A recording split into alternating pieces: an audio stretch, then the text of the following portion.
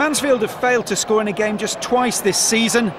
and Neil MacKenzie fired in a superb 25 yard winner to cap off a great week after the FA Cup exploits against Wycombe.